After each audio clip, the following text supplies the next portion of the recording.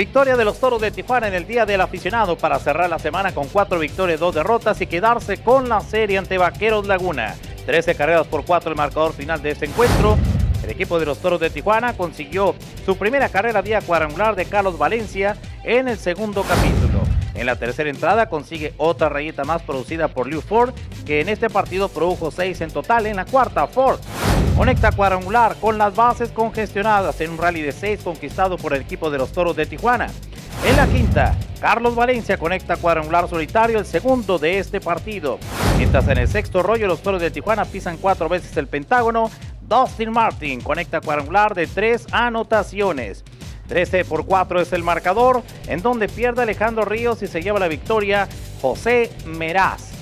Después de celebrar el Día del Aficionado, los Toros de Tijuana el próximo martes estarán de gira en Monterrey y el próximo fin de semana en Reynosa ante los Broncos.